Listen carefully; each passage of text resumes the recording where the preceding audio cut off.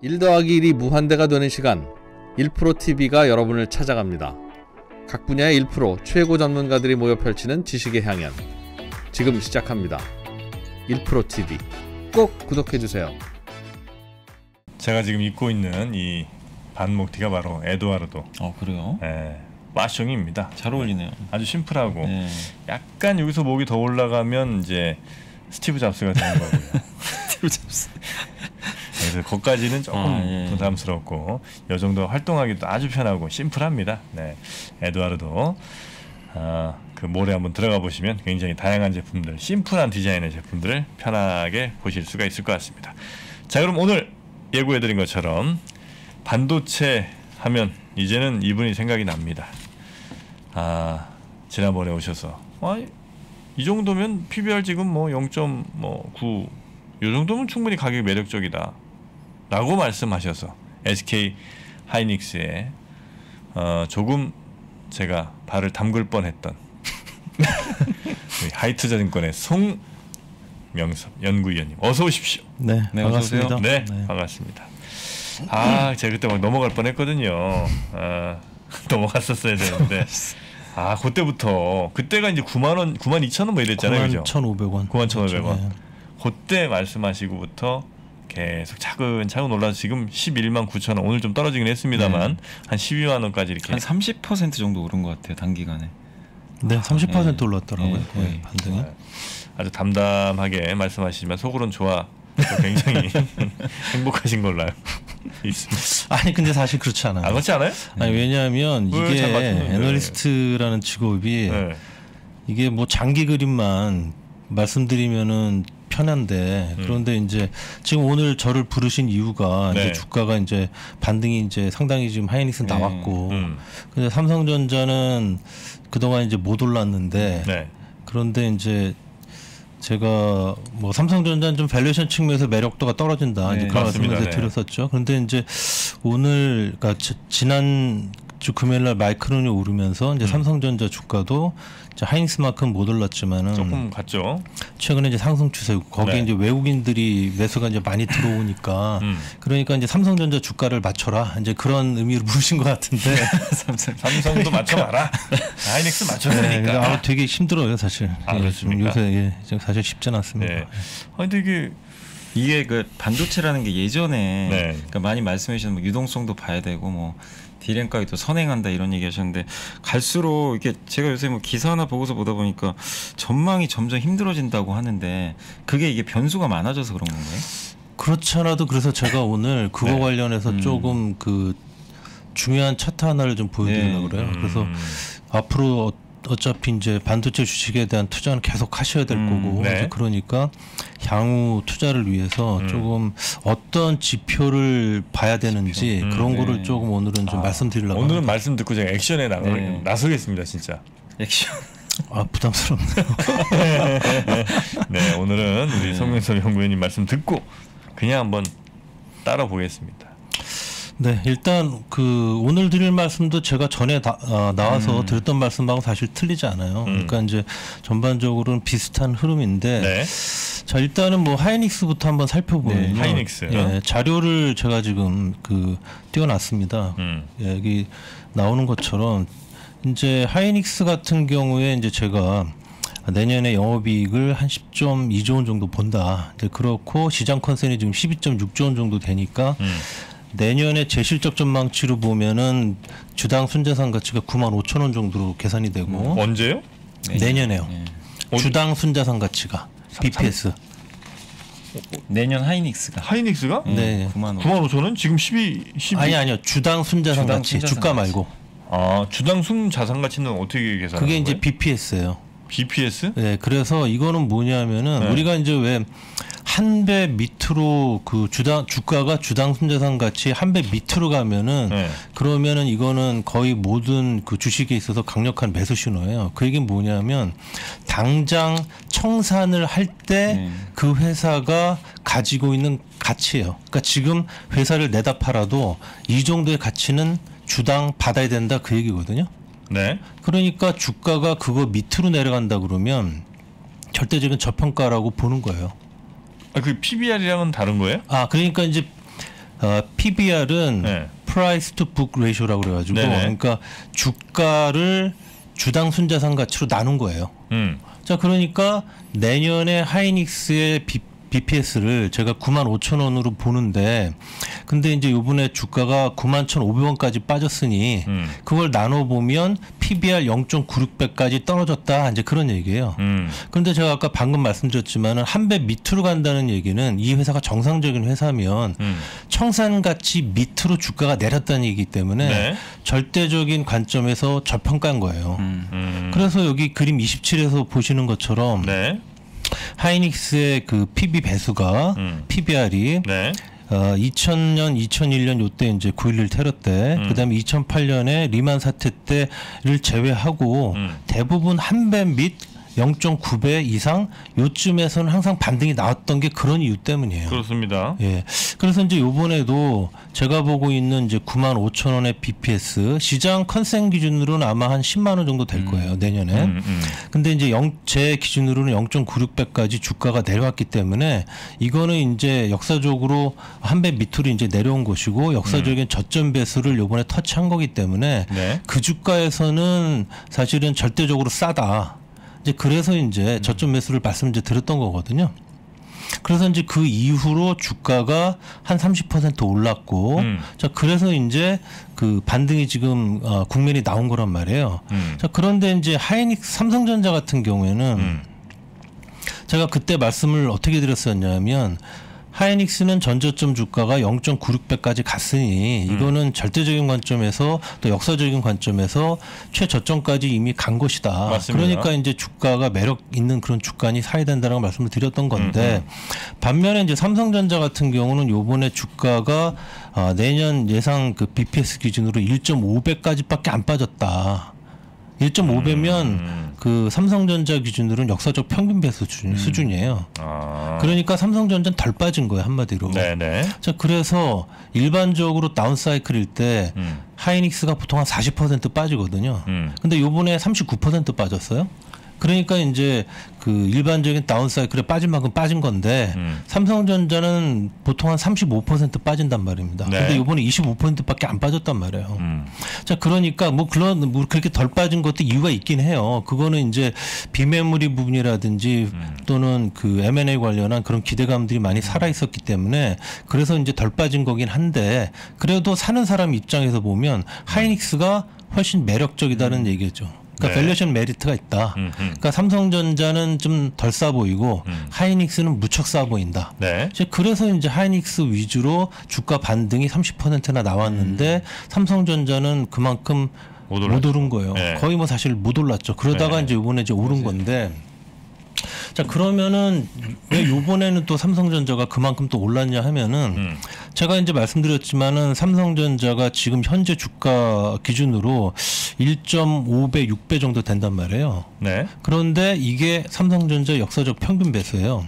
근데 하이닉스도 주가가 이제 30% 오르는 바람에 음. 하이닉스도 이제 역사적 평균 배수인 1.3배 근처까지 왔어요. 아 그래요. 네. 그러니까 삼성전자와 하이닉스 간의 valuation 메리트가 이제는 차이가 없어진 거예요. 음. 딱 그런데 그동안에 하이닉스는 많이 올랐는데 삼성전자는 못 올랐으니 음. 투자가분들 그 입장에서는 하이닉스보다 삼성전자 쪽으로 조금 더 이제 관심이 가는 거죠. 음흠. 그래서 외국인들이 오늘 보셔도 어, 하이닉스 매수는 사실 그렇게 많이 안 했는데 네. 삼성전자는 이제 상당한 규모로 매수가 들어온 거예요. 음.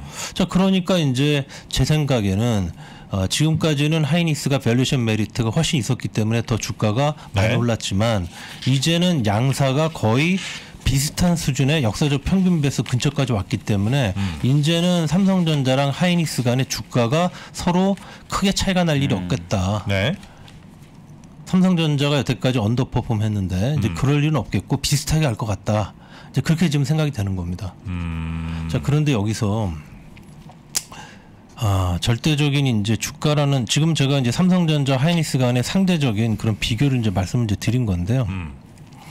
자 근데 이제 제가 전에 뭐라고 이제 말씀을 드렸었냐면은 네. 어, 주가가 역사적인 그런 그 저점 배수 부분으로 저점을 찍고 나면 음. 그러면은 이제 반등이 나오긴 한다. 음. 그런데 이게 추세적 상승으로 바로 돌아서지는 않는다. 네. 주가가 반등이 나왔다가 음. 다시 반락이 나왔다가 그 다음에 이제 추세적 상승으로 돌아선다. 네. 이제 그렇게 제가 말씀을 드렸었어요. 음. 자, 근데 여기 그림 28, 21페이지 보시면요. 자, 요, 요 부분입니다. 요런 부분, 그 다음에 요런 부분, 그 다음에 요런 부분. 이게 보이시는지 모르겠는데. 자, 보시면은 주가가 요때도 0.9배 딱 찍고 반등 나왔다가 네. 주가가 다시 내렸다가 그 다음에 이제 추세적 상승으로 돌아섰죠. 음. 그 다음에 2019년 초에도 주가가 0.9배 찍고 반등 나왔다가 다시 반락했다가 추세적 상승세로 돌아섰고 음. 20년에도 주가가 1.0배 바닥 찍고 반등 나왔다가 다시 내렸다가 그 다음에 추세적 상승세로 돌아섰잖아요. 네네. 그래서 저는 요번에도 좀 그럴 가능성이 높지 않냐라고 봐요. 제가 여기 1.3배를 굵게 표시를 해놨지 않습니까? 네. 네. 네. 여기 보시면은 1.3배에서 대부분 반등이 지금 마무리가 되잖아요. 음. 1.3배 딱 찍고 반락 나오고 다시 가죠. 그 다음에 이때도 1.3배 찍고 반락 나오고 다시 치- 추세 상승으로 가잖아요. 도망쳐 도망쳐. 도망쳐야 이- 되겠네. 아니 아니요. 1.3이 생각하지 마시고요. 자, 1.3배라는 게 왜 의미가 있냐면 네. 아까도 말씀드렸지만 하이닉스의 역사적 평균 배세요. 네. 그러니까 투자가들 입장에서는 바닥 딱 찍고 한 어. 30%딱 주가가 올랐으면 네. 그러면 그때부터 머리가 복잡해지는 겁니다. 음. 지금 사실은 요번에 마이크론 주가가 음. 지난주 금요일 날 이제 큰 폭으로 올랐잖아요. 음. 그게 올랐던 이유가 뭐냐면 미국의 증권사 몇 군데서 반도체 업황이 생각보다 그렇게 나쁘지가 않고 음. 이제 금방 돌아설 수 있다. 이제 네. 그런 얘기들을 하고 하면서 이제 마이크론 주가가 이제 많이 오른 거예요. 음. 그리고 사실은 그거보다도 더 큰 이유는 그동안에 그 미국 주가가 반도체, 필라델피아 반도체 지수 위주로 많이 올랐단 말입니다. 음. 그래서 엔비디아나 AMD 위주로 주가가 많이 올랐고 네. 사실은 마이크론은 주가가 그런 회사들에 비하면 상당히 나빴어요. 음. 그러니까 요번에 이제 그러한 얘기들이 나온 김에 이제 음. 마이크론 주가가 키에 맞추기를 좀 한 거라고 보여져요. 음. 그래서 이제 그 이후로 똑같은 이제 메모리 반도체 회사니까 하이닉스 삼성전자 주가가 이제 많이 오른 거란 말입니다. 네. 자, 그런데 그 얘기는 뭐냐면은 그렇게 어, 업황이 생각보다 나쁘지 않고 금방 음. 좋아질 수 있다라는 게 사실 지금 주가 반영이 어느 정도는 돼 있다 그 얘기인 거예요. 음. 그렇죠? 자, 그래서 만약에 지금 주가가 한 30% 올라가지고 어느 정도 와서 수익이 좀 낮는 그런 투자가들 입장에서는 자, 이렇게 해서 이제 주가가 왔는데 만약에 네. 시장이 생각하는 거랑 달리 반도체 업황이나 업체들의 실적이 그 둔화되는 폭이 조금 더 크거나 아니면은 좀 더 생각한 것보다 길어진다 이렇게 지금 돼버리게 되면 네. 그러면은 주가가 반등이 안 나왔으면 상관없는데 음. 반등이 상당히 나왔으니까 그런 뉴스들을 듣게 되거나 그런 확신을 갖게 되면 또 파는 사람들이 생긴단 말입니다. 네, 네, 네. 네. 그래서 이제 반락이 나오는 거예요. 어. 아니 그리고 보니까 네. 이 28번 그림에서 연간 ROE 같은 것도 이게 12, 13, 14는 괜찮고 16, 10, 17, 18까지도 뭐 나쁘지 않은 것 같고 근데 21, 22는 안 좋잖아요. 네. 그러니까 뭐 반락 나온 다음에 쭉 올라가는 그 상승이 이번에는 없을 것 같은데 그죠? 아니요, 그렇진 않죠. 아 그렇지 않습니까? 예. 고맙습니다. 이거는 이제 아유, 뭐, 아, 이거는 이제 놀랐어요. 22년뿐만 아니라 23년까지 봐야 되는 거니까. 23년에 근데 뭐 이렇게 나오겠어요? 일단은 이- 뭐 저도 23년은 좋아진다고 아 봅니다. 그렇습니까? 예. 네. 다른 분들도 22년 다른 이제 지금 시장의 컨센서스를 보면 음. 지금 4분기 가격 빠지기 시작을 했는데 음. 뭐 어떤 분들은 4분기가 바닥이라고 보시는 분들 그래서 1분기부터 돌아선다고 보시는 분들도 계시고 음. 1분기가 그 낙폭이 가장 크고 그다음에 이제 2분기부터 실적이 좋아진다라고 보시는 분들도 계시고 그래요. 음. 그런데 이제 저는 그거보다는 조금 더 어, 업황이 좀 더 부진할 거라고 생각은 하지만 음. 그래도 23년이 좋아질 거라고 생각하는 거는 뭐 그분들이나 저나 뭐 동의를 합니다. 네, 네. 그래서 제가 이제 말씀드리는 거를 이제 이어가면 그래서 사실 이런 말씀드리는 게 굉장히 조심스럽긴 합니다. 이거는 굉장히 좀 마이크로하게 주가를 맞춰야 되는 거라서. 네, 네. 어쨌든 과거에 이제 이런 모습을 보였고 우리가 미래를 예측할 때는 이제 항상 과거의 데이터를 보고할 수밖에 없는 거니까 그래서 이제 제 기준으로는 9만 5천 원이고요. BPS가 내년에 시장 기준으로는 10만 원이라고 말씀드렸지 않습니까? 네. 그런데 어, 과거에 보면 보통 1.3배 정도에서 이제 어, 반등이 마무리가 되더라. 음. 그러면 9만 5천 원 곱하기 1.3배. 그 다음에 10만 원 곱하기 1.3배 하면 12만 원대 초중반에서 13만 원. 요 사이가 제가 볼 때는 요번 반등의 좀 마무리 국면이 아니겠나라고 생각을 하는 겁니다. 예측을 하신다는 네. 거죠. 그 다음에 이제 주가가 말씀드린 뭐 그런 이유로 뭐 프로핏 테이킹 나온다든지 아니면은 생각한 것보다 조금 업황이 안 좋은 그런 모습이 나온다 그러면 반락이 나올 수가 있고 네. 그 다음에 이제 추세적 상승세로 전환이 되는데 그래서 제가 강조드리는 건 뭐냐면 네. 그러한 반락이 나왔을 때 그거를 매수의 기회로 삼으시라는 거예요.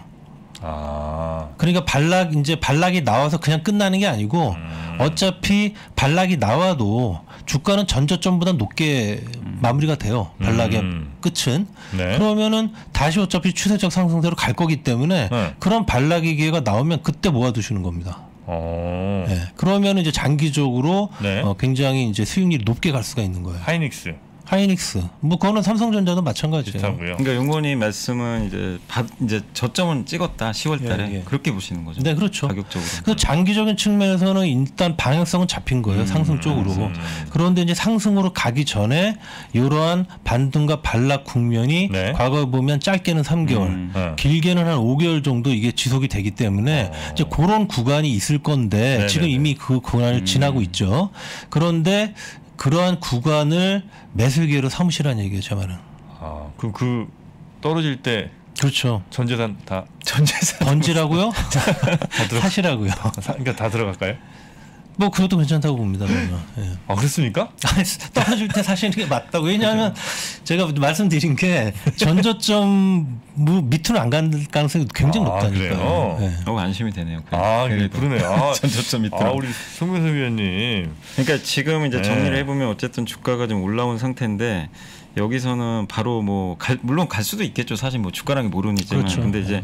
경험상 좀 반락할 가능성이 있고 음. 그 상태에서 그렇다고 예전처럼 이제 급하게 떨어지거나 뭐 다시 뭐 전저점을 하할 가능성이 높지는 않기 때문에 예, 그럴 가능성은 낮다고 오히려 이제. 비중을 좀 늘리시면 좋겠고 근데 좀 궁금한 게 제가 이게 반도체 기업들 참 이게 예측하기가 다들 어렵다고 하시잖아요. 근데 주 이게 이게 맞는 건가요? 주가가 오히려 디램 가격이 선행을 하는 건지 자, 왜냐하면 네. 오늘 아까 제가 스팟 가격 봤는데 반도체가 올랐더라고요. 정말 오랜만에 아, 그래요? DDR 그 8기가바이트가 음. 정말 오랜만에 좀 올랐는데 이게 공교롭게 지금 마이크론도 주가 급등하고 나서 이런 모습이 나오는 것 같아서 음. 근데 이게 맞는 건가요? 주가가 먼저 가는 건가요? 원래 이게 제가 오늘 드리려고 하는 말씀을 이제 먼저 질문해 주셨는데요. 네.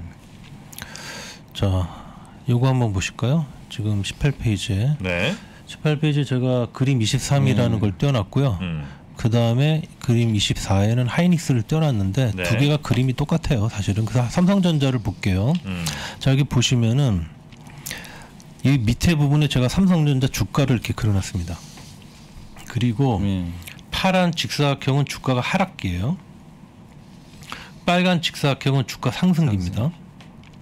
그렇게 지금 제가 이 여섯 개 사이클 음. 그려놨습니다. 그리고 이 윗부분에는 뭘 그렸냐면 1기가빗 기준 ASP 이건 D램 가격을 얘기하는 거고요. 음. 그 다음에 그 아래는 메모리 반도체 시장, 즉 메모리 반도체 시장 규모니까 메모리 반도체 업황이에요. 네. 음. 이두 가지는 뭘 의미하냐면 실적 요인인 겁니다. 음. 즉 주당 가치 요인이에요. 음. 자 그리고 그 아래는 제가 전에부터 이제 계속 말씀드린 글로벌 유동성 음. 증감률과 음. 미국의 ISM 제조업 지수라는 걸 그려놨는데 얘는 뭐냐면 경기 지표입니다.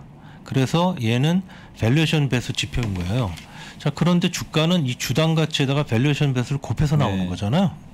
자 그런데 음.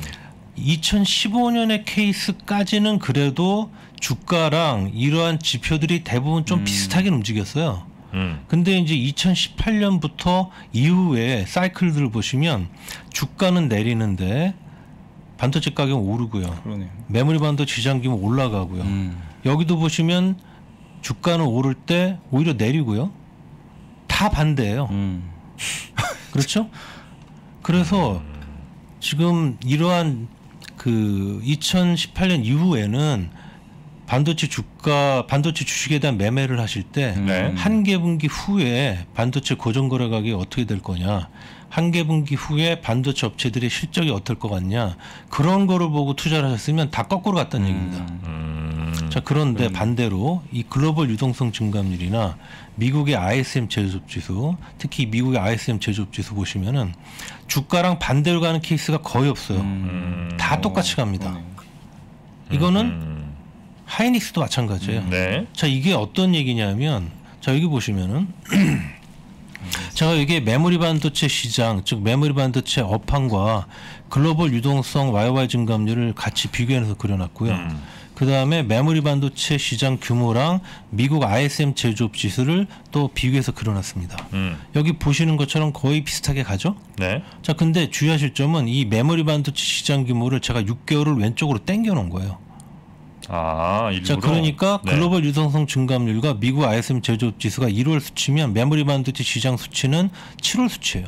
음. 그러면 이게 이렇게 비슷하다는 얘기는 뭐냐?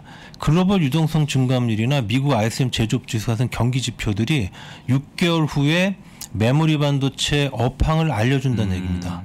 수요를 알려주기 때문에 그런 거예요. 음. 자 그런데 보통 이제 애널리스트들이 이런 얘기를 많이 해요. 자 제가 볼 때는 앞으로 6개월 후에 반도체 업황이 이렇게 될 것 같습니다. 자 그런데 아시다시피 주가는 메모리 반도체 업황을 6개월 선행하잖아요. 자 그러니까 지금 사셔야 됩니다, 파셔야 됩니다. 그런 얘기를 한단 말입니다. 음. 자 그런데 저를 포함해서 애널리스트들이 나름의 논리적인 근거를 가지고 주, 그 업황을 전망하긴 하지만 음. 때로는 맞을 때도 있고 또 틀릴 때도 허다하죠. 네. 그래서 사실은 그러한 애널리스트들의 콜도 다 제각각이고 음. 그래서 그러한 애널리스트들의 업황 전망을 그대로 믿고 주식 투자를 하시게 되면 음. 그러면은 이제 사실은 주가를 못 맞힐 가능성이 굉장히 높은 거죠. 자, 그래서 음. 저는 어떻게 말씀드리냐면 이 반도체 주가가 업황을 6개월 선행하는 게 아니에요.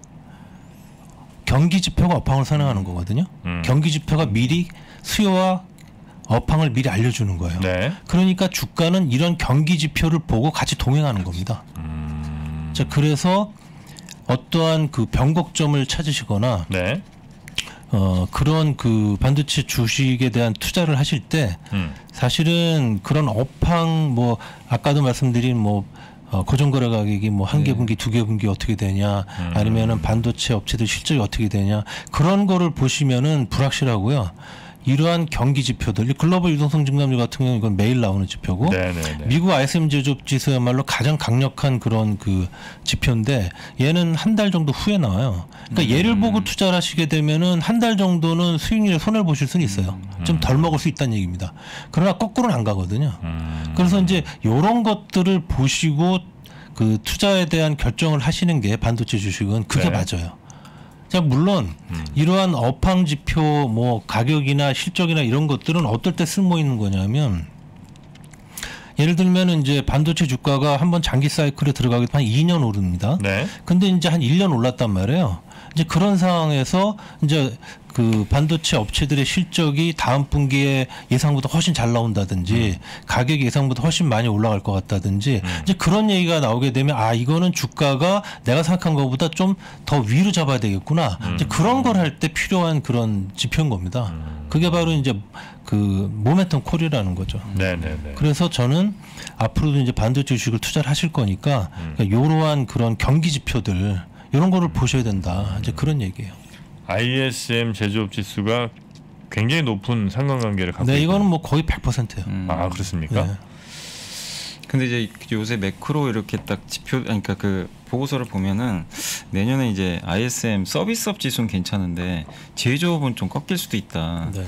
이런 얘기가 있으면 그럼 내년에 또반저 저 지표대로면은 반도체 별로 좋을 게 별로 없어 보이긴 근데 하거든요. 이제 그 이미 ISM 제조업 지수는 꺾였고요. 아, 꺾 제, 어, 서비스업 지수가 이제 올라오고 있는데 음. 근데 이제 미국 경기가 어, 어떻게 될지는 사실은 뭐 알 수는 없는 네, 거예요. 그죠. 그래서 이제 ISM 제조업 지수가 지금 여기 보시면은 뭐 꽃좀 찍고 내려왔다가 네. 반등 나왔다가 조금 내렸다가 뭐 이러고 있기 때문에 얘가 완전히 지금 아랫방향 방향을 잡았는지 아닌지는 사실은 음. 잘알 수는 아직은 없어요. 그래서 이걸 좀 체크해 보실 필요가 있고 그 다음에 이제 또 하나 그 말씀드리고 싶은 게 이거예요. 사실 올해 같은 경우에 그 주가에 가장 큰 영향을 준 거는 제가 아까 이제 그 차트 보여드리면서 네. 업황 지표보다 경기 지표가 더 중요하다고 네. 말씀드렸잖아요. 그 중에서도 중국 경기가 저- 절대적인 영향을 미쳤습니다. 우리나라 주가에 특히 반도체 주가에. 지금 요새 보시면은 올해 들어와 가지고 주가 안 오른 나라 딱 두 두 나라 있잖아요. 네. 중국하고 한국. 네. 한국 은 중국의 프락시. 그래서 다른 나라들은 주가 다 날아가는데 우리나라가 주가 상대적으로 안 좋았던 겁니다 올해. 음. 그런데 왜 그러면은 그 이런 모습이 나타났냐면 중국 경기가 안 좋았기 때문이고 여기 네. 보시면은 중국 크레딧 임펄스 지수라고 저기다 그려놨는데 음. 이게 이제 한마디로 대출 얼마나 해주냐거든요. 그러니까 유동성 지표예요. 네네. 얘랑 중국의 IT 수요 증감률을 제가 같이 그려놨는데 중국 IT 수요 증감률이 중국 크레딧 임펄스 지수 조금 후행해요. 네. 근데 보시면은 여기 보시면은 작년 말 올해 들어와 가지고 중국 정부가 세계에서 가장 빠르게 아 돈줄을 쳤죠. 예. 그러면서 크레딧 임펄스 지수가 급락을 하고 중국에서 유동성이 빠지고 그러니까 글로벌 유동성 증감률도 빠진 겁니다. 네. 자 그랬는데 3개월 지나니까 중국의 IT 수요 증감률이 따라서 급락을 하고 정확히 똑같은 시기에 우리나라 반도체 주가도 빠지기 시작했어요. 음. 예. 그래서 얘가 언제 돌아서냐, 중국의 크레딧 임펄스 지수가 언제 돌아서냐가 관건이거든요. 네. 그런데 중국의 크레딧 임펄스 지수도 지금 보면은 보시는 것처럼 올랐다 내렸다 하는 그런 사이클이 있어요. 음. 근데 얘가 지금 이 정도 왔으면 제가 볼 때는 앞으로 음. 내년에 한 1분기 중반 후반 정도 되면 얘가 바닥 찍고 올라올 가능성이 있다라고 보여지는 것이고 이 얘기는 어떤 얘기냐면은 이 상태로 가면 중국 정부가 내년 2월 달에 베이징 동계 올림픽 네.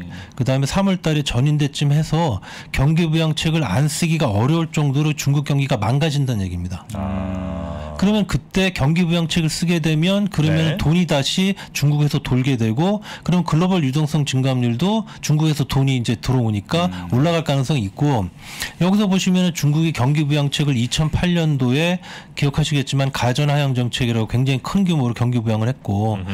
코로나19 직후에도 경기 부양을 했는데 이때 중국의 IT 수요 증감률 보시면은 이렇게 좋게 나오잖아요. 네. 자 이러니까 내년에 2월 3월 달에는 물론 과거 했던 것만큼 그렇게 경기 부양책 크게 쓸 수는 없어요. 왜냐하면 돈이 이미 상당히 풀려 있기 때문에. 음. 네네. 그래도 경기 부양책을 조금이라도 써주면 지금 굉장히 안 좋은 상황인 중국의 IT 수요 증감률이 턴어라운드를 하게 될 거란 얘기입니다. 음. 자 그러면은 요번에 떨어진 이유가 중국의 어, IT 수요 증감률이 빠지면서 경기가 나빠지면서 주가가 빠진 건 어, 이유인 만큼 네. 돌았을 때도 얘가 돌았으면 돌아서는 거죠. 그래서 뉴스에서 중국이 경기 부양책을 쓴답니다. 이런 얘기 나오면 제가 볼 때는 그때는 바로 간다. 아. 시장 전체나 반도체 주가 전체적으로 다. 저는 네, 사실 네. 이제 저런 중국 부양책 하면 항상 그 경기 민감주 생각만 했거든요. 반도체는 음, 전혀 음, 생각해 본 적이 없는데 오늘 말씀 들어보니까 저거랑 거의 좀 일치하는 모습들이 좀 이게 확인되는 것 같아서 음. 부양책 쓰면 진짜 반도체에도 되게 도움이 되겠네요, 진짜. 네, 그렇게 네. 지금 보고 있고요. 예. 그 다음에 이제 제가 지금 말씀드리는 내용은 뭐냐면은 제가 이제 반등과 반락 국면이 있을 거다. 네네. 자, 그런데 그 다음에 이제 추세 상승이 올 거다라고 말씀을 이제 드렸는데 지금은 반등 구간입니까? 아니면 반, 지금은 이제 반등 국면에 아직 반등. 있는 거죠. 음. 반등이라긴 너무 혹시 기간이 짧은가요 지금? 보통 제가 아까 말씀드렸지만 반등과 반락이 네. 그러니까 저점 찍고 추세 상승 전에 반등과 반락이 있는데 음. 그 기간이 가장 짧았을 때가 3개월이고요. 가장 네. 길었을 때가 한 5개월이에요. 근데 요번에 10월 달 초 정도부터 주가가 반등이 나왔잖아요. 그러면은 짧으면 내년 1월 중순. 어. 그 다음에 길면은 내년 3월 되는 거죠. 네네네. 과거에 뭐 그런 패턴 요번에도 음. 똑같이 적용되리라는 법은 없죠. 된다면 음. 그래서 만약에 이런 반등과 반락 국면이 끝나고 난 다음에 네. 그 다음에 추세 상승이 온다고 할 때 어떤 일들이 벌어지면 어. 이게 추세 상승으로 갈 건지를 음. 제가 좀 말씀드리고 아, 있는 이거 거예요. 굉장히 중요합니다. 그래서 이제 제가 방금 전에 말씀드린 그러한 중국에서 경기 음. 부양책 쓴다는 얘기 나오면 그거는 이제 추세 상승으로 간다는 얘기다라는 얘기고요. 음. 그 다음에 이제 요거 이 CAPEX인데 음. 요번에 삼성전자랑 하이닉스의 conference call에서 투자가들이 가장 많은 질문을 한 게 내년 CAPEX를 얼마나 쓰냐였거든요. 그러면서 이제 어, 반도체 회사들은 뭐라고 답을 했냐면은 상황에 따라 탄력적으로 운영하겠다. 음. 그다음에 수익성 위주로 하겠다. 이제 그렇게 이제 얘기를 했습니다. 근데 네. 그건 사실은 늘상 하는 얘기예요. 음. 그랬는데 그 다음 날 이제 어떤 보고서들이 쏟아졌냐면 아 회사가 회사들이 보수적으로 한답니다. 음. 그다음에 수익성 위주로 한답니다. 굉장히 좋은 신호다. 네. 그렇게 보고서들이 나왔고 음. 실제로 그때부터 주가가 반등이 나왔어요. 음. 자, 그러면 왜 그랬을까? 그거는 우리가 시장이 이미 체험적으로 알고 있는 게 있어요. 뭐냐면 아무리 지금 업황이 좋고 실적이 좋아도 반도체 업체들이 캐펙스를 늘린다는 그런 발표를 하게 되면요. 네. 그거는 시간의 문제지 향후의 공급 증가에 따라 업황이 나빠질 게 뻔하기 때문에 음. 주가는 그때부터 바로 안 됩니다. 음. 반대로 지금 업황이 아무리 나쁠 것 같이 보여도 음. 캐펙스를 줄인다는 얘기를 하게 되면 이거는 역시 시간의 문제지 업황이 좋아질 게 뻔하기 때문에 그때부터 주가는 올라요. 네. 그러니까 지- 그게 지금 이미 주가에 반영되기 시작을 한 거예요. 음. 자, 그런데 아직은 뭐 하이닉스나 사- 어, 마이크론 같은 경우는 내년에 캐펙스를 올해보다 늘린다고 얘기하고 있어요. 네. 아직은 삼성전자 아직 공식적으로 얘기 안 하고 있지만 근데 제가 볼 때는 업황이나 또는 업체들의 실적이 예를 들면 1분기 고정거래 가격이 시장이 생각하는 한 8% 정도, 7, 8% 정도보다 더 빠지고 네. 실적이 예상보다 더 나쁘면 그러면 그럴수록 반도체 회사들의 캐펙스를 줄인다는 얘기를 아, 더 빨리 우리가 들을 수 있을 거다.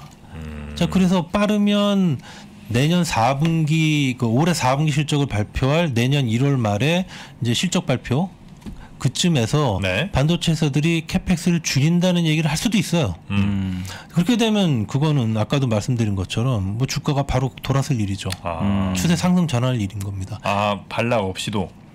아니 아니요. 그거는 이제 반락이 어느 정도 있고 난 다음에 얘기했죠. 1월 말이면. 근데 1월 말일 수도 있고 4월 말일 수도 있어요. 그러니까 음. 그런 발표를 할 거나. 근데 이제 네. 시장에는 이미 알려지겠죠. 시장에는 이미 뭐 어, 삼성전자나 하이닉스나 마이크론이 CAPEX를 지금 뭐 공식적으로는 발표 안 했지만 네. CAPEX 줄일 것 같습니다. 뭐 줄인다는 얘기가 있습니다. 이런 얘기가 돌 수도 있죠. 그러면 그런 얘기 나오면 주가는 오르는 거죠. 그래서 반도체 회사들의 CAPEX 감소 이제 이런 얘기가 이제 어, 돌기 시작하면 네. 그러면 그거는 이제 주가가 본격적인 상승에 접어들었다고 봐도 된다는 겁니다. 음. 자 그리고 세 번째로는 네. 자 올해 상반기와 하반기에 음. 그 반도체 업황에서 크게 달라진 흐름은 뭐냐면요. 상반기까지만 해도 반도체 회사들이 그 자기네들의 가이던스를 상회하는 출하 증가를 기록을 했어요. 그 얘기는 뭐냐면 반도체 회사들이 팔려고 했던 것보다 고객들이 더 많이 가져갔다는 얘기. 네네. 자 그러니까 이제 반도체 회사들은 재고가 줄었겠죠. 음. 대신에 고객들은 재고가 늘었습니다. 네. 그런데 3분기 들어와서 요번에 컨퍼런스 콜을 어, 들어보시면 알겠지만은 반도체 회사들이 원래 제시했던 가이던스보다 요번에는 그 출하 증가율이 더 낮았어요. 음. 그러니까 3분기부터 고객들 재고는 조금 줄었고요. 음. 그 다음에 반도체 회사들 재고는 좀 늘기 시작했어요. 근데 4분기에는 반도체 회사들이 뭐라고 얘기했냐? 아, 우리는 공격적으로 출하할 계획이 없습니다. 수익성 위주로 하겠습니다. 이렇게 얘기했는데 그 네. 얘기는 뭐냐면 내 재고를 늘려서 반도체 가격의 낙폭이 커진 걸 막겠다 그 얘기예요. 음. 자, 그렇게 되면은 4분기에는 고객들 재고는 더 본격적으로 줄 거고요. 음. 반도체 회사들 재고는 이제 좀 더 많이 늘겠죠. 음. 제가 볼 때는 올해 연말 정도 되면 한 3, 4주 수준으로 올라갈 거라고 보는데 네. 반도체 재고가 반도체 회사들 재고가 는다는 얘기는 분명히 뭐 안 좋은 얘기를 들릴 수 있어요. 네. 자, 그러나 고객들 재고가 준다. 이거는 장기적으로는 좋은 얘기인 겁니다. 음. 왜냐하면은 이런 식으로 이제 반도체 고객들이 반도체 재고를 줄이게 되면 물론 뭐 1분기, 2분기 계속 줄일 거고 그러면은 이제 그 기간 중에는 반도체 가격이 떨어지고 실적이 안 나오는 그런 고통의 시간을 겪겠죠. 음. 그런데 이게 어느 정도 일정 시간이 지나게 되면 이제 고객들의 재고가 정상 또는 그 이하로 내려가게 될 거고 네. 그때 마침 이제 부품 부족 문제가 좀 완화된다든지 이런 상황이 발생하게 되면 그 당시에 수요가 어땠는지와는 어떠냐는 상관없이 음. 고객들은 재고를 다시 재축적을 해야 돼요. 음. 네. 그러면 확 돌아서는 거거든요. 음. 그래서 이제 장기적으로 보면 고객들이 재고가 줄기 시작했다는 것도 긍정적인 뉴스거든요. 그 지금 그 말씀해 주신 게 경기 중국이 경기 부양하는 거, 그다음에 캐펙스 축소하는 거, 그다음에 반도체 재고가 이제 고객들이 갖고 있는 게 줄어드는 요게 이제 제일 좋은 신호들이잖아요. 그렇죠. 세 개가 다 만족돼야 쭉 갑니까? 아니면 어, 어차피 한두 개만 되면 무조건 세 개는 거의 같이 가는 거기 때문에 세 개는 같이 가겠죠. 같이 가는 거예요. 따라갈 일이 없을 것 같아요. 아 그렇습니까? 그러면 이 중에 한 신호라도 먼저 나오면 그때 빨리 들어가야 되겠네요. 그렇죠. 어허. 그래서 이제 뭐 어, 예를 들면 아마존이 뭐 디램 재고가 14주가 넘어간답니다. 네. 뭐 이러다가 이제 어느 순간에 어떤 애널리스트가 보고서를 써가지고 아마존 재고가 10주 미만으로 내려온 거로 보인다. 뭐 이런 얘기가 나오기 시작하면 이제 그거는 이제 굉장히 주가에 큰 영향을 주게 될 일인 거예요. 그 재고는 어디서 확인하면 돼요? 그거는 회사에서 공식적으로 발표 안 합니다. 비밀이죠. 예, 알음알음 아는 거예요. 아 그래요? 예, 서베이를 통해서 아 예, 이제 회사들하고 이제 아. 커뮤니케이션 통해서 알게 되는 CAPEX 축소한다는 건 어디서 얘기해요? 그건 회사들이 이제 반도체 실적 발표할 때. 예, 실적 음. 발표할 때 공식적으로 얘기하고요. 어, 그럼 실적 발표하는 고날들 요 고날에는 이제 CAPEX 축소하는지를 잘 들어야 되는 거고. 그렇죠. 네. 그다음에 경제 뉴스 같은 데서는 중국이 경기 부양 하는지를 잘 봐야 되는 그렇죠. 거고. 그 다음에 애널리스트 보고서에서는 어 뭐 아마존이라든지 하여튼 큰 그 빅테크들이 어 반도체 재고가 줄었다는 소식이 리포트 있는지 그걸 이제 잘 그렇죠. 봐야 되겠네요. 네. 아. 그러니까 어떻게 보면 이제 많은 저도 예전에 그랬었고 이제 많은 분들이 결국 반도체 가격을 예측을 하고 음. 가격이 어떻게 될 거다 아니면 음. 지금 가격이 빠진다 오른다 요것만 보고 많이들 하시는데 사실 이제 오늘 그 위원님 얘기 들어보니까 그게 중요한 게 절대 아니었네요. 그렇죠. 예, 네. 결국 이런 선행 지표들이 있었기 네, 때문에 네. 그리고 그 재고 얘기하셨는데 그러면 재고가 우리나라 기업들은 그러면 어차피 PC는 비중 낮으니까 모바일이나 서버잖아요. 음. 어느 걸 더 중요하게 봐야 돼요? 둘 다 좋게 봐야 돼요. 둘 다 중요한데 둘다 중요한가요? 현재로서는 비중이 뭐 거의 비슷해요. 그래서 예. 지금 모바일이 뭐 30% 후반대 40% 수준이고 네. 그다음에 서버도 지금 30%대 후반 정도 되니까 네. 중후반 회사마다 좀 다르긴 한데 네. 하이닉스가 서버 드램 비중이 좀 높은 편이고요. 하이닉스. 삼성전자가 모바일 쪽 비중이 좀 높은 편이에요. 음. 그런데 이제 회사마다 좀 다르긴 한데 둘 다 비슷합니다. 음. 비중은 지금. 제가 쉽게 생각하는 건지 모르겠는데 반도체 투자 어렵지 않은데요 지금? 말씀 들어보니까? 아니 무슨 일이 아니에요 지금. 송명섭 위원님. 아니 이 세 개 신호만 이게 잘 파악해갖고 어차피 세 개 신호는 같이 가는 거니까 무슨 경기 부양하는 뉴스 보고 그다음에 conference call에서 CAPEX 축소하는지 그거 들어보고 그다음에 송명섭 위원님 병- 보고서에 어? 아마존 줄었다는데 재고가? 바로 그러면 전 재산 들어간 이거 아닙니까? 근데 그걸 지금까지 모르셨다는 게 문제잖아요. 이제 아셨다는 게. 아니 이제라도 알았다는 게 얼마나 큰 일입니까? 아니 근데 이제 네. 이런 것들도요. 이제 상황에 따라 또 중요한 게그 중요도가 또 달라지고 네. 항상 바뀌는 거기 때문에 네. 그냥 뭐 무조건 이거다. 음. 앞으로 영원히 이거다. 그건 또 아니에요. 아 그래요? 예, 상황에 따라 또 그때마다 이때는 또 미국 지표, 지표가 중요해지고 어때는 또 중국 지표가 중요해지고 또 어떤 때는 경기 지표가 중요해지고 어떤 때는 또 업황 지표가 더 중요하고 다 달라지니까요. 이제 그래요? 그런 것들은 이제 계속해서 체크를 해 나가야 되는 겁니다. 그리고 제가 좀 궁금한 게 이제 사실 하이닉스는 이제 당연히 이제 말씀하신 대로 순수 업체니까 갈 텐데 음. 이제 삼성전자는 사실은 사업부가 되게 많고 음. 내년에 사실 올해 초에 주가 셌던 것도 물론 이제 반도체 메모리도 있었지만 TSMC랑 좀 한번 해볼 수 있다라는 기대감 때문에 음. PER가 굉장히 높게 올라갔던 걸로 아는데 그럼 삼성전자는 사실 이거보다는 내년도에 뭐 파운드리 3나노 양산한다 이런 얘기들 나오는데 좀 변수가 좀 많을 것 같아서 네. 이대로 그러니까 삼성전자는 좀 달리 보는 게 맞는 걸까요? 그래서 저도 지금 그 얘기를 드리려고 했는데요. 네. 일단은 22페이지로 네. 한번 다시 돌아가서 보시면 자 그래서 이제 삼성전자가 요번에 주가가 상대적으로 하이닉스보다 덜 빠졌던 게 지금 그 연미사님이 말씀하신 것처럼 지금 그동안에 이제 작년 하반기부터 삼성전자 비메모리 부분, 파운드리 부분에 대한 그런 기대감, 그다음에 또 이제 M&A에 대한 기대감 네. 이런 것들이 이제 굉장히 강하게 표출이 되면서 그러면서 이제 특히 이제 개인 투자가분들이 많이 매수를 하시고 네. 음. 이번 8월 달에 주가 급락할 때도 외국인들이 무려 6조 원이나 갖다 음. 이제 매도를 했을 때도 개인분들이 이제 그거를 다 매수를 해 주신 거잖아요. 음. 그래서 이제 주가가 상대적으로 음. 이제 덜 빠진 거란 말이에요. 음. 자 그러면은 개인분들은 왜 이렇게 삼성전자 어, 주식을 이렇게 꾸준히 매수하셨을까? 네. 그거는 이러한 파운드리 부분이나 M&A 관련한 그런 기대감들이 크게 작용을 한 거죠. 음. 음. 자 그런데 그게 덜 빠진 게 상대적으로 독이 돼서 지금은 이제 하이닉스보다는 주가가 퍼포먼스가 상당히 안 좋았던 건데 음. 그런데 이제는 말씀드렸던 것처럼 이제 양사의 valuation 메리트가 비슷한 수준으로 좀 왔단 말입니다. 자, 그러니까 이제 이 삼성전자 주가가 앞으로는 뭐 하이닉스 주가랑 서로 크게 다르지 않을 것 같은데 음. 자, 그럼 삼성전자 주가의 가장 그 중요한 포인트는 이렇게 지금 그 비메모리나 M&A 관련한 음. 이제 그런 그 기대감들이 실제로 현실화가 되겠냐가 중요한 거죠. 음. 그래서 지금 그 이재용 부회장이 미국에 가 계신데 네. 그분이 돌아오면서 혹시나 음. M&A 관련해서 뭔가를 정말 시시한 회사 말고요. 정말 음. 좋은 회사. 그런 회사를 M&A 한다는 그런 뉴스를 들고 오신다 그러면 그러면은 주가는 당장 아웃퍼폼을 하게 됩니다. 음흠. 이미 다른 시장이라든지 하이닉스 대비해서. 네. 음. 자 그리고 비메모리 이 파운드리 부분에서도 지금 시장 점유율이 한 16, 17% 되는데 음. 그나마 그 중에 한 절반 정도는 삼성전자 자체 물량이에요. 음. 그러니까 순수 파운드리 물량은 지금 한 8%밖에 안 되는 거거든요. 음. 근데 여기서 음. 내년에 뭐 그 3나노급에서 게이틀로 라운드를 하고 뭐 이제 이렇게 하면서 큰 그 고객들이 삼성전자로 와서 시장 점유율이 뭐 단기 내로 20% 이상으로 올라가 준다든지 하면 그거 역시 어, 삼성전자가 향후에 굉장히 시장이나 하이닉스 대비 아웃퍼폼할 일인 거죠. 음. 왜냐하면 TSMC랑 삼성전자 간의 valuation 이 갭이 굉장히 큰 차이가 나니까 그게 좁혀질 거란 말입니다. 음. 근데 그게 안 된다 그러면 그러면 뭐 그냥 지금 과 음. 같은 이제 그런 모습을 이제 계속 이제 보이게 될 거란 말입니다. 네.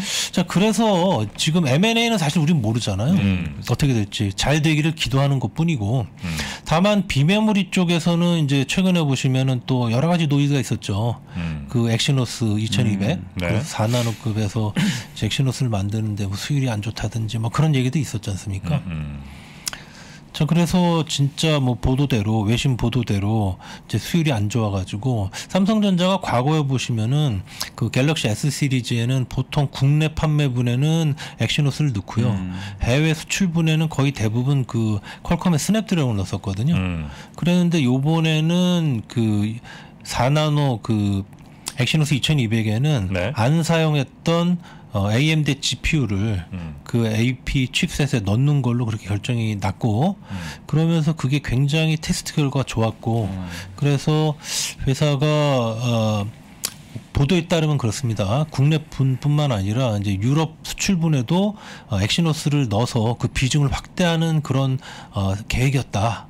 자, 그랬는데 이제 수율이 안 좋아가지고 이게 안, 무산이 되게 생겼다 뭐 이런 뉴스들이 좀 있는 거잖아요. 뭐 보도가 내용이 맞다 그러면 그러면 사실은 내년도 사실 그게 크게 기대하기는 어려운 거예요. 그래서 어, 저는 사실은 이 M&A 쪽은 모르고요. 어떻게 될지 음. 비메모리는 반 정말 반반이라고 봐요. 음. 잘될수 있을지 안될수 있을지. 음. 그래서 이제 이두 가지를 계속해서 보셔야 됩니다. 음. 그래야 삼성전자의 주가 퍼포먼스가 결정이 날 겁니다. 그거에 따라서.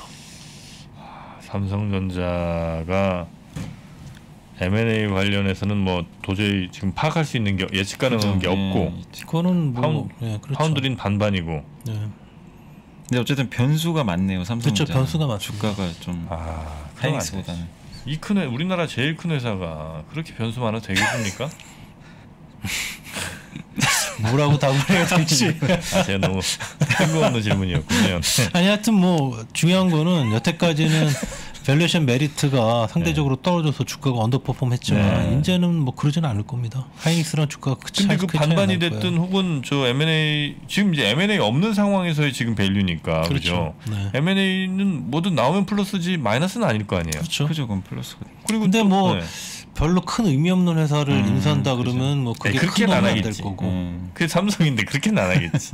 글쎄요. 그건 네. 뭐 모릅니다. 안 볼래? 네, 왜냐하면은 뭐 삼성전자의 과거 M&A 히스토리를 보면 네. 성공 사례가 사실 별로 없어요. 아, 그래요? 이거는 뭐뭐 네, 했었어요? 삼성이? 뭐 여러 개 했었죠. 그래서 뭐 그 서버 옛날에 뭐 알파칩 만들던 이름 기억이 안 나는데 서버에 서버용 CPU 회사도 인수를 했었던 기억이 있고 아 그래요? 예 그리고 뭐.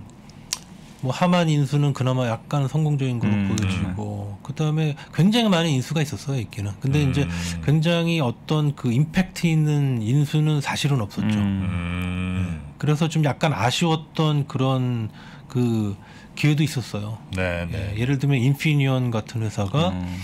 매물로 나왔을 때 음. 그거를 샀으면 그럼 지금 굉장히 얘가 많이 달라졌을 건데 음. 그거를 이제 인수를 좀 못했던 면도 있고 그러니까 회사 측 입장에서는 당연히 이거를 인수를 한다는 얘기가 나오면은 뭐 가격이 엄청 치솟을 거 그죠. 아닙니까 벌써 음. 시장이 소문 나니까 네. 그러면 이제 미래의 그 비용 미래의 기회와 또 그거를 삼으로 인한 그런 비용의 증가 뭐 이런 기회 비용 이런 거 생각하면은 이제 굉장히 이제 고민스러울 거고 음. 그래서 이제 뭐 그렇게 M&A를 적극적으로 못했던 그런 이제 과거가 이- 있는데 음. 근데 이제 회사의 태도가 바뀌었잖아요. 네. 지금은 이제 M&A를 적극적으로 지금 그 음. 검토한다고 회사가 얘기를 했기 때문에 음. 이제는 좀 좋은 소식이 들리기를 이제 좀 음. 기대해 보는 거죠. 아 그렇습니까. 그리고 이제 파운드린 반반이다. 예, 지금 현재로서는 반반으로 보는 게 맞을 것 같습니다. 네. 또 보통 파운드리도 뭐 이게 기술이라는 게 삼성전자 갖고 있는 기술은 분명히 있잖아요. 네. 그 반반의 그 확률이 나오는 게 기술이 이렇게 있고 그다음에 수요가 훨씬 더 늘어날 건데 이게 왜 반반이죠? 훨씬 더 잘 될 확률이 높은 거 아니에요? 그러니까 이제 그게 그냥 그 시장의 파이가 커지는 때 네. TSMC가 다 가는 하고 거. 그 다음에 캐파가 모자라 가지고 네. 그 남는 거를 삼성전자가 가져오는 거면 음. 그거는 뭐 기존의 구조가 이어지는 거니까 음. 회사, 어떤 그 회사의 경쟁력 상승을 의미하는 게 아니죠. 음. 그러면은 실적이 좋아진다 한들 그거는 그냥 그 TSMC도 좋아지고 삼성전자도 좋아지고 하는 거니까 음. 회사의 어떤 밸류를 높게 쳐줄 이유는 없는 겁니다. 네, 네. 그런데 이제 TSMC 시장 점유율이 뭐 50%대 초중반인데 그걸 뺏어와 가지고 뭐 40%대로 만들어 버리고 음. 삼성전자가 20 몇 퍼센트로 올라가 버리고 그거는 이제 음. 분명히 어떤 구조의 변화가 있는 것이고 회사가 앞으로도 잘할 거란 얘기잖아요. 그거는. 네. 그런 거는 당연히 밸류를 쳐줘야죠. 그럼 이제 삼성전자 계획대로면 내년 상반기에 3나노 양산인데 이게 어쨌든 가장 키포인트가 되겠네요. 네, 성공하느냐. 일단 지금 보니까 4나노가 뭐 저 보도의 내용이 네. 맞다라는 가정하에서 음. 4나노가 지금 뭐 수율이 안 좋다 그러면 사실 3나노가 음. 잘될 거를 기대하기는 뭐 당장은 어렵죠. 음. 그러니까 상반기는 애초에 그 기대하지는 않았고요. 그러니까 음. 그런 얘기가 있는지 모르 뭐 있을 수는 있겠지만은 음. 내년 아마 뭐 하반기나 뭐 말 정도 되면은 3나노 양산이 개시될 거라고 보는데 네. 근데 그때 잘하면 그러면 이제 그게 이제 상당히 이제 음. 영향이 이제 주- 어, 긍정적으로 오겠죠. 음. 근데 뭐 그건 봐야 되는 거고요. 네. 네. 그 요즘에 그 반도체 이제 이 삼성전자 하이닉스 말고 그 조금 작은 회사들도 뭐 괜찮은 회사들이 좀그 주가적으로 괜찮은 회사들이 있는 것 같고 또 장비 부품 회사들도 통통 튀는 회사들이 좀 있던데 그 회사들은 그냥 삼성전자 하이닉스가 좀 가니까 같이 이렇게 탄력적으로 뛴 거야 아니면 뭐 또 별 개별적인 이유들이 많이 좀 있습니까? 아, 네. 그래서 지금 좋은 질문 하셨는데 네, 고맙습니다. 제가 이제 지금까지 나와 가지고는 계속 뭐 삼성전자 네. 하이닉스만 말씀드렸기 네. 때문에 자, 근데 기본적으로 이제 먼저 알려 드리고 싶은 거는 네, 반도체 장비주들이나 소재주들의 그 실적이라는 건요 한마디로 반도체 회사들의 캐펙스예요. 음. 그렇죠? 음, 자, 그러니까 업황이 좋아지면 네. 반도체 업체들이 캐펙스를 늘릴 게 뻔하고 음, 업황이 나빠지면 반도체 회사들이 캐펙스를 줄일 게. 뻔하죠. 음, 자, 그러니까 업황을 미리 이제 그 선호형 관계는 어떨지 모르겠으나 일반적으로 볼 때 반도체 회사들의 주가가 지금 보면 업황을 선행하고 있잖아요. 네, 자, 그러니까 반도체 주 업체들의 주가라는 거는 음, 좀 늘려서 얘기를 하면 반도체 장비 회사들과 반도체 소재 회사들의 그 향후 실적을 아주 먼 미래를 얘기해 주는 음. 거예요. 음, 반도체 회사들의 주가가 올랐다. 네, 아 이거는 업황이 향후에 좋을 거란 얘기다. 음, 반도체 업황이 좋으면 반도체 회사들이 캐펙스를 늘릴 거다. 음, 반도체 회사들이 캐펙스를 늘리면 반도체 장비주들이 실적이 좋아질 거다. 음, 그런 여러 단계를 거치지만 네, 그러나 반도체들의 주가가 좋을 거란 얘기는 음, 먼 미래에 반도체 장비 업체들이 실적이 좋을 거란 얘기입니다. 음. 그러니까 반도체 업체들의 주가가 오르면 장비주들도 똑같아 오르는 거고 음. 반도체 회사들의 주가가 떨어지면 실적과 상관없이 반도체 장비들의 주가도 빠지는 거예요. 음. 그러니까 서로 다른 움직임을 보일 수는 없어요. 그래서 지금 같은 시기에서 이제 보셔야 될 거는 뭐냐면은 네. 그러한 반도체 장비주 소재주들이 나중에 오를 때 음. 어떤 회사들이 더 많이 오를 건지를 지금 고르실 시간인 거예요. 음. 그러면 어떤 회사들이 주가가 더 많이 오르겠냐? 네. 그냥 평균적으로 뭐 반도체 회사들 뭐 삼성전자, 하이닉스가 CAPEX 쓰는 만큼 그냥 그 정도로 실적이 좋아지는 애는 음. 그거는 뚜렷하게 어떤 메리트가 없는 거잖아요. 그렇죠. 투자의 메리트가. 음. 그런데 그런 회사들 중에서는 어떤 회사들은 예를 들면은 신장비를 내서 그래서 또 뭐 삼성전자나 하이닉스가 굉장히 이 회사를 예뻐한다. 음. 그래서 이 회사의 장비를 좀 많이 쓰게 된다, 들 것 같다. 네. 또는 지금까지는 일본 회사들이 장비를 공급해 왔는데 네. 이 아, 회사 장비로 국산화했다. 국산화를 음. 한다. 네. 또는 삼성전자, 하이닉스 말고 다른 고객이 들어온다더라. 음. 네. 이런 요인들이 있는 회사 같은 경우에는 일반적으로 삼성전자나 하이닉스의 캐펙스가 늘음에 따라서 실적이 좋아지는 회사들은 차별화되는 회사들이죠. 음. 그런 회사들은 주가가 더 오른단 말입니다, 음. 나중에. 그러니까 그런 회사들을 거기가? 찾으는 거예요. 네? 어디예요? 그거는 제가 말씀드리기 뭐예요. 찾아- 방송 찾아야죠. 여기서는 여기서 아, 그래요? 얘기하면 안 되죠. 아, 그 신기. 신기술이 있어서 삼성전자 하이닉스가 주- 이뻐하거나 음. 아니면 다른 삼성전자 하이닉스 말고 또 다른 어, 큰 회사들을 잡고 있는 회사 잡는 회사나 아니면 회사나 아니면 국산화를 해서 이제 에, 각광을 받을 회사 요세 네, 가지 정도가 그렇죠. 제일 키포인트예요. 그렇죠. 그런 회사들은 플러스 알파가 있는 거잖아요. 맞아요. 그런 거. 그런 회사들이 주가가 더 오를 거란 말입니다. 그러니까 그런 회사들을 뭐, 뭐 지금 같은 시기에 또는 이제 주가가 좀 혹시나 또 아. 반락이 나와준다 그러면 그런 회사들을 잡으시, 어, 사시면 나중에 이제 더 높은 수익률을 얻게 되시는 거죠. 일부 소부장 기업들은 보니까 벌써 음. 신고가 난 기업들도 있더라고요. 그런 반도체, 회사들이 예. 이제 그런 회사들일 거예요. 그러면 아 상대적으로 좀 더. 네. 말씀을 따로 안 해주시니까 저는 채팅창을 보면서 추정을 해보겠습니다. 찾아보면 나오긴 나와요. 여러분들이 계속 얘기해 주시니까 음. 뭐 이런 회사들이 있겠군요. 네.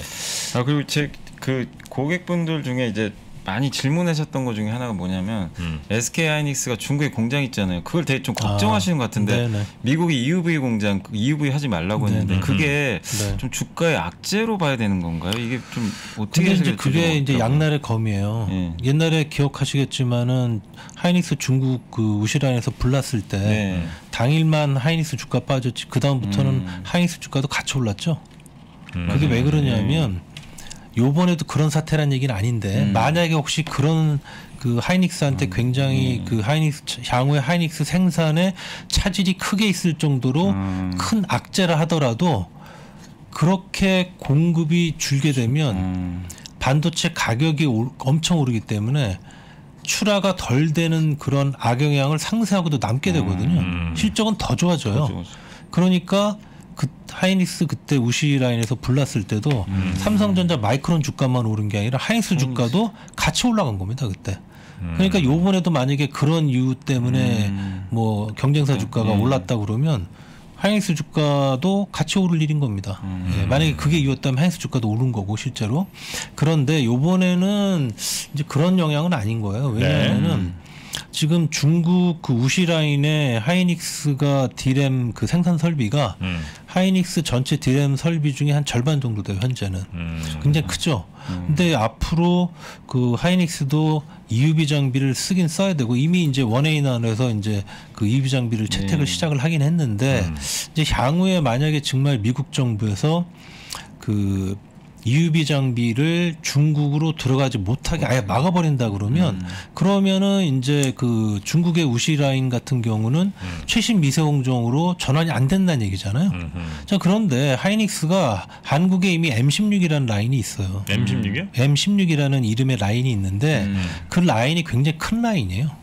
그래서 지금 얼마 안 들어가 있는데 그 라인이 향후에 그 full capa로 가게 되면 음. 그때의 중국 우시 라인이 전체 하이닉스 디램 설비 중에서 3분의 1로 줄어요 비중이. 어. 그런데 반 D램도 항상 최신 미세 공정의 D램만 필요한 건 아니거든요. 음, 그죠. 그러니까 약간 legacy D램도 네네네, 필요해요. 네네네. 그러면은 그러한 legacy D램은 우시라인에서 생산하고 음. 그 다음에 최신 미세 공정 그 D램은 한국에서 생산하면 되고요. 그 다음에 M16 다음에는 이제 그 원삼면 음. 그, 그 화성 원삼면 음. 화성인가요 평택인가요? 하여튼 그 지금 정확히 말씀해 주세요. 기억이 안 나요.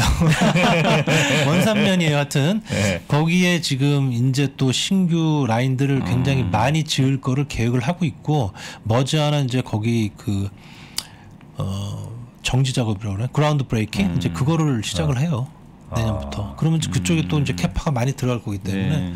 사실은 그렇게 시기상으로 이렇게 큰 문제는 아닐 것 같습니다. 제가 볼 때. 음, 음. 아, 큰 문제는 음. 근데 많은 분들이 예. 걱정은 하시더라고요. 사실 이것 때문에 이제 하이닉스가 네네. 굉장히 좀 피해를 볼까봐. 그 생산 라인에서 내가 뭘 생산할지는 그냥 쉽게 쉽게 바꾸거나 혹은 쉽게 쉽게 결정할 수 있는 거예요. 한번 딱왜 자동차 같은 경우는 한번 뭐 생산하면 꽤, 꽤 오래 이제 가잖아요. 근데 반도체는 그보다는 훨씬 더 바꾸긴 편합니까? 한 달에서 한 달 반이면 바꿀 수 있어요. 어, 아, 뭐 3나노 만 아니 뭐 7, 7나노 만들다가 오케이 이번부터는 5나노 이렇게 아, 아니 그렇게는 안 되고요. 네. 제가 말씀드린 거는 그 우시 라인에서 예를 들면 네. 지금 그, 그 나노로 나노가 전환이 되려 그러면 그게 이제 미세공정이라고 그러는데 미세공정이 전환되려 그러면 음. 그러면 좀 많이- 장비들이 새로 들어가야 되기 그건 많이 때문에 어렵고. 장비 장비 발주하고 뭐 installation하고 돌리고 하려 그러면 뭐 1년이 헐 넘게 걸리는데 네. 그런 거 말고 예를 들면 우시라인에서 지금까지는 뭐 모바일 드램을 만들고 있었는데 음. 그런데 이제 이 모바일 드램은 최신 공정이 필요하잖아요. 음. 그러니까 그거 말고 조금 그거보다는 덜한 뭐 consumer 디램이라든지 아니면은 뭐 PC 디램 중에서 좀 저사양 PC 디램을 만든다든지 음. 하는 거는 그거는 뭐 한 달이면 돼요. 아, 저는 이렇게. 바꾸는 거는 음, 알겠습니다. 아, 아, 그게 이제 굉장히 중요한 이슈군요. SK 같은 경우에 아니, 많이들. 물어보시더라고요. 음. 예, 중국 근데 그 만약에. 진짜 그렇게 해가지고 큰 문제 생겨서 공급이 안 나오게 되면 음. 그러면 말씀드렸다시피 하이닉스한테도 사실은 가격이 오름으로 인한 오히려. 이익이 더 큽니다. 음. 음. 예, 그러니까 나쁜 일이 생기면은 사실은 오히려 더 주가는 올라요. 음. 그래서 농담 삼아 하는 얘기가 뭐 굉장히 반도체 업황이 나쁠 때, 야 이럴 때 우리 차라리 그냥 뭐 삼성전자 그 뭐 평택라인에 네, 이제 무슨 뭐 폭탄 터트릴까 뭐 그런 얘기 한단 폭탄까지 말이에요. 가니 정전 정도가 딱. 아이고, 정전은 너무 이제 영향이 적으니까. 폭탄 뭐 하지 여기까지는 안 가길 바랬거든요. 자기네 회사가 자기네 라인에 폭탄을 터트려도 그래도 출하량에는 이제 그 피해가 오나 가격 상승으로 인한 음. 매출 증가, 이익 증가가 더 크다 그 얘기입니다. 그러니까 이게 억지로는 못 멈- 멈출 수가 없다는 얘기죠. 그렇죠. 돌리긴 해야 되니까. 그렇죠. 아 쉽지 않네 반도체. 여튼 반도체는 음, 이제 뭐 시간이 거의 다 됐으니까 뭐 말씀해주신 내용을 들어보면 어, 과거의 사례들을 살펴볼 때 아, 굉장히 그 지금 현재는 뭐든지 최근에 좀 오르긴 했으나 하여튼 굉장히 그 가치가 많이 좀 낮아진 상황에서 약간 오른 거고 여기에서 보통 한 번 정도는 반락이 왔다가 음. 다시 쭉 추세 상승 가는 경우가 많았다. 네, 네, 이거는 대부분 다- 그랬죠. 예, 그게 이제 한 3개월에서 5개월 정도가 이제 반등 반락에 한번 오는 기간 정도가 과거에는 있었고 음. 그때 이제 다시 쫙 갈 때는 시그널이 중국 경기 부양, 그다음에 CAPEX 축소, 반도체 재고, 그러니까 고객들의 반도체 개구가 네, 맞아요. 주느냐, 요 시그널이 이제 제일 중요하다. 세 개가 네. 거기 이제 대체로 같이 올 거고, 네. 네, 제일 큰 건 폭탄 같아요, 진짜. 네. 아 우리 폭탄 명섭님, 네. 네. 손명섭, 손명섭 연구위원님의 말씀은 제가 정말 성경 보듯이 정말 철석까지 믿겠습니다. 네. 왜냐하면 이미 그잘 워낙 네네. 예측해 주셨으니까. 그래서 오히려 반락이 나올 때가 잘 좋은 가격에 살수 있는 음. 기회일 가능성이 매우 높다. 중학대의 기회다. 네. 네. 네. 그리고 쫙 추세 상승 가면 보통 얼마나 갑니까? 뭐 한 50% 가놓고 추세 상승 이렇게 얘기하지 마시고요. 뭐한 두세 배는 가야죠. 그거는 이제 향후에 그 글로벌 경기 상황 뭐 이런 네. 걸 보셔야죠. 배는 가겠죠, 근데? 그건 모릅니다. 지금. 아, 그래요? 네. 지금은 알 수 없죠. 예. 그리고 이제 조금 더 어, 탄력적인 그 주식 매매를 좋아하시는 분들이라면 이제 그런 어, 소재나 장비 회사들 가운데 국산화를 잘했거나 아니면 신기술이 있어서 정말 삼성 하이닉스가 안 살 수가 없게 만들거나 아니면 또 다른 큰 매출처가 있어서 막 이렇게 경쟁이 좀 치열한 이런 회사들 같은 경우는 굉장히 또 가격 달리기 좋은 음. 네. 어, 부품사, 소재사, 장비사가 될 수 있다. 네. 네. 이 정도면 어떻게 괜찮으실까요? 네, 네. 네, 알겠습니다. 그리고 마지막으로요. 제가 일단은 뭐 제가 사실은 뭐 올해 어떻게 운 좋게 조금 이렇게 주가를 맞춘 상황이 됐는데 그 실력입니다. 운이라고 자꾸 하지 마세요. 그 이 방송을 들으시는 네. 투자가분들 항상 그 염두에 두실 게 네. 이러다가도 틀리는 음. 그런 가능성 항상 있기 때문에 그러니까 제가 드리는 말씀이나 다른 네. 애널리스트들이 나와서 드리는 말씀은 네. 항상 여러모로 이제 서로 비교해 보시고 네. 음. 그 다음에 이제 취사 선택을 해야지 네. 그냥 이렇게 전적으로 믿으시다가는 또 주가 주식 매매를 잘못하실 수 있어요. 그러니까 음. 항상 틀릴 가능성, 뭐 지금 나와서 얘기하는 사람이 틀릴 가능성, 이제 네. 그런 거는 좀 냉정하게 이제 판단 좀 하실 필요가 있습니다. 네. 올해처럼 이렇게 이게 많은 애널리스트 분들이 예전에 좀 비슷한 시각이었던 것 같은데 정말 많이 엇갈리시는 것 같아요.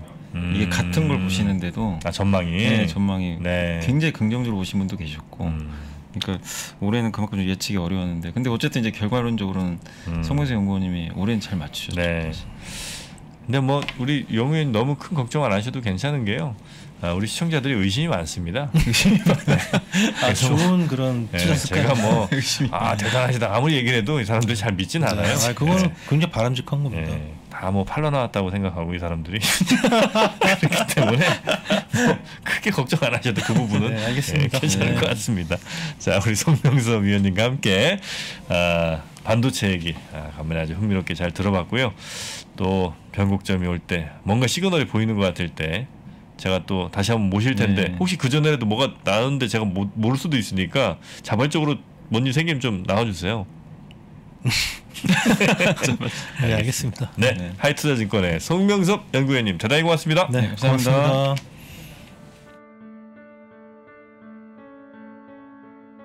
선택을 더 고민해야 돼요. 이유는 옵션이 늘었기 때문에.